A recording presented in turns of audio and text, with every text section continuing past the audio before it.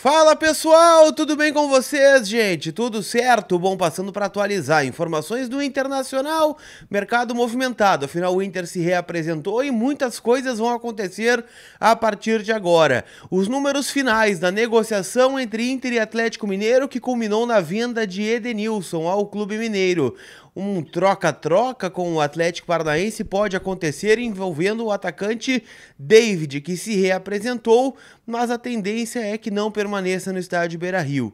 E o avanço do Inter para contratar Lucas Romero, volante do Independiente.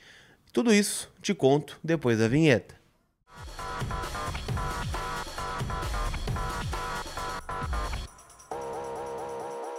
Vamos falar do Internacional então, gente. Afinal, a quarta-feira foi movimentada e a quinta-feira promete ser tão movimentada quanto. Eu quero começar falando sobre a possibilidade de uma troca entre Internacional e Atlético Paranaense envolvendo David e o volante Eric. Vamos começar pelo David, tá? O David, atacante do Internacional, vocês sabem é, tudo sobre ele, né? O Inter contratou ele do Fortaleza, custou caro, aquela coisa toda. Era um pedido do então técnico Cacique Medina, que queria jogadores de lado de campo. Ele fez uma grande temporada no Fortaleza em 2021, mas o fato é que ele não conseguiu corresponder às expectativas aqui no estádio Beira Rio. O que, que o Inter está fazendo a partir de agora? O Inter colocou o David no mercado, né? Ele é um jogador que está sendo é, disponibilizado, né, pelos dirigentes do Inter para negociação e com isso seu agente, que é o André Cury, está oferecendo ele vendo possibilidades em algumas equipes do futebol brasileiro e do exterior. Algumas já sondaram, né? E eu trouxe isso aqui para vocês. Vasco, é, São Paulo, Coritiba, muitos clubes sondaram, mas há um empecilho grande, que é o salário que ele recebe hoje no estádio Beira-Rio, que se aproxima dos 400 mil mensais é, mensais, né? Então, assim, uh, o clube que estiver contratando o David vai acabar assumindo esse salário, porque o Inter não quer ter que dividir o salário do David enquanto ele atua por outro clube. O Inter quer que ele saia e mantendo né, o seu percentual, caso ele se destaque em outra equipe, o que o Inter acredita muito que vai acontecer, é, consiga uma venda futura e lucrar ou reaver parte do investimento alto que fez junto ao Fortaleza na última temporada.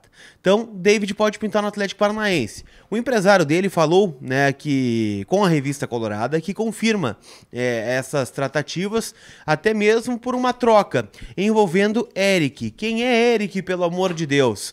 Eric é um volante do Atlético Paranaense, jogador de 25 anos. O Inter já tentou esse jogador em outros momentos, é, muito ainda é, na última janela de transferências, quando o Paulo Autuori ainda estava aqui, é, porque é um jogador que ele gostava muito. Como o William Thomas é um discípulo do Autuori, né, trabalharam juntos durante muito tempo, ele também conhece o Eric e todos tratam ele como um bom jogador, um segundo volante, né, que pode pisar dentro da área, tem uma bola parada interessante, então poderia pintar uma troca. Não sei se esse negócio vai sair, tá? Pode ser até que saia, né, com o Atlético levando o David ou o Eric vindo para cá, ou o Eric vindo para cá e o David não indo para lá.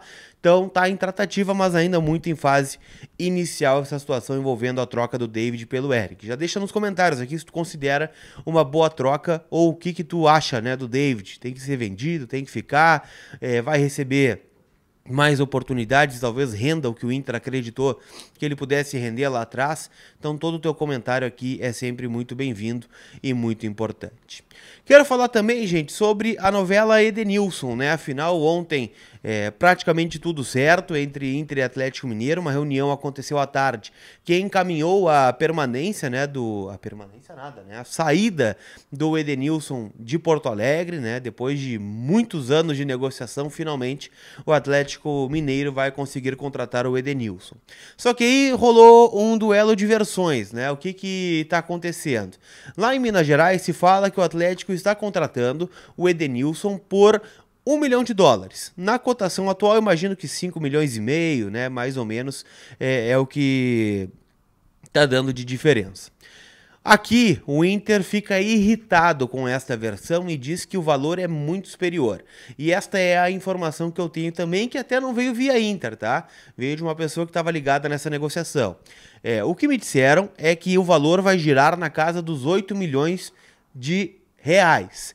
E aí uma pessoa me disse, né, que pode ser que o valor seja realmente né, um milhão, um milhão e meio de dólares, só que o Atlético vai parcelar este valor. Então, como vai parcelar, vai ter um pouco de juros. E o que poderia ser 5,5, 6, pode virar 8 né? Mas é de forma parcelada. O fato é, tá? O Edenilson tá a detalhes de jogar no Atlético Mineiro, ele está se recuperando de um procedimento no tórax, é, não vai ao CT Parque Gigante mais, só para se despedir dos companheiros, e a partir daí vai tocar a sua vida no Atlético Mineiro. Falta uma questão de exame médico, a questão de assinatura de contrato, porque no mais é, tá tudo encaminhado entre Inter e Galo, né? Depois de muito tempo, como eu disse, a negociação caminhou e o Edenilson será jogador do Atlético Mineiro. Diz aí se tu acha que foi uma boa negociação, se não foi, eu acho que vai ganhar todo mundo, tá? É, infelizmente o Edenilson já tinha encerrado a sua caminhada aqui no Inter. É um jogador que na minha humilde opinião, né, se supervalorizou no Internacional, mas acho que vai dar certo no Atlético Mineiro sendo um coadjuvante. É, o Inter vai liberar um espaço importante, vai retomar, quem sabe, é, um protagonista, né, com este salário que ele vai deixar aqui no Beira-Rio, e acaba, né, também o jogador é, ganhando com isso, afinal vai sair de onde ele queria sair e vai chegar para onde ele queria chegar. Falando em Beira Rio, a Inter Store Beira Rio tá aberta, viu? Todos os dias, das 10 da manhã às 6 da tarde, para te receber. Produtos licenciados do Inter, como essa camiseta aqui, você encontra por lá. Se você não pode ir ao Beira Rio, você pode adquirir os produtos direto de casa, no link que eu vou deixar na descrição aqui do vídeo, porque eles enviam para todo o Brasil. Então chama eles, o link está na descrição do vídeo para ter esse manto, né, do Internacional, manto novo, é, algumas promoções sempre rolando. Ontem eu vi que tinha promoção de camiseta de goleiro lá na Inter Beira Rio, tá? Então te agiliza para garantir o teu produto licenciado do nosso Colorado. Para a gente fechar, eu quero falar sobre Lucas Romero. Afinal, ontem um avanço né, importante nessa negociação. É, inclusive, né, o pessoal né, da Revista Colorada também conversou com Jorge Damiani, é, que é um diretor esportivo do Independiente. E eu até conversei com algumas pessoas do Inter também que me confirmam praticamente a mesma coisa. O que está acontecendo? É, se falou no avanço do Cruzeiro aqui, e eu sempre disse para vocês, né? Bom, o Cruzeiro está avançando, mas as fontes com quem eu conversava no Cruzeiro sempre me disseram: Colar, o Cruzeiro não tem grana para investir. O Cruzeiro está contratando jogadores e pode olhar o mercado do Cruzeiro. Contratando Nicão, contratando é, o Matheus Vital, atrás do Ramiro do Corinthians, tudo por empréstimo. Então, o que, que o Independiente quer para liberar o Romero? Grana. O Cruzeiro não tem. O Cruzeiro não tem dinheiro. Se fosse por pré-contrato, para que ele chegasse em junho, o Cruzeiro seria um forte candidato. Mas o Inter talvez tenha aproveitado a, a pressão do empresário ou do próprio Independiente para garantir logo o Lucas Romero.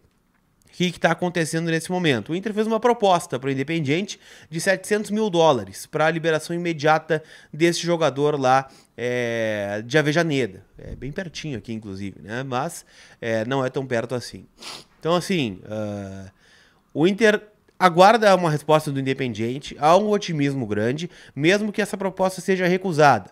Alguns colegas né, da imprensa na Argentina noticiaram que o Independiente gostaria que o Inter, além dos 700 mil dólares, é, a, assumisse para si algumas dívidas que o Independiente tem com o Romero. Então tá em fase final de negociação, as partes com quem eu conversei já dão um negócio como muito bem encaminhado e o Romero deve ser o segundo reforço a chegar aqui no estádio Beira-Rio nesta temporada. Tá tudo, como eu disse, bem encaminhado, caminhando bem e o Romero viria, né, para ser esse primeiro volante, né, liberando um pouco mais o Johnny para ser segundo. Uh, e Matheus Dias também. E o Inter ainda busca algumas reposições no mercado, como por exemplo o Jean Lucas, jogador do Mônaco, só que o Mônaco prometeu uma resposta para o Inter para janeiro. Então ainda está em stand-by essa, essa questão, mas o Romero então deve ser o segundo jogador a desembarcar aqui em Porto Alegre, beleza? Então, em resumo, é isso, tá? David pode sair, Eric pode chegar, Edenilson já foi e o Romero, então, com uma chegada avançada para Porto Alegre. Beleza, gente? Final da Copa do Mundo no domingo, né? França e Argentina e você já pode dar o seu palpite na KTO. KTO.com, parceira do Colar, você tem 20% de bônus no seu primeiro depósito com o meu cupom que é colar. Tá aqui na nossa barrinha mágica, né, falando sobre a KTO. Tem muitas coisas legais que tu pode apostar lá, né, coisas que vão acontecer durante o jogo. Se tu não gosta de apostar na vitória, é, não é o profeta, né, então uh, dá para brincar. E claro, né, Campeonato Gaúcho vai iniciar agora, na sequência, e tu tem que estar tá registrado na KTO, kto.com, minha parceira e que apoia aí o canal, beleza? Deixa o teu like, te inscreve e a gente se vê.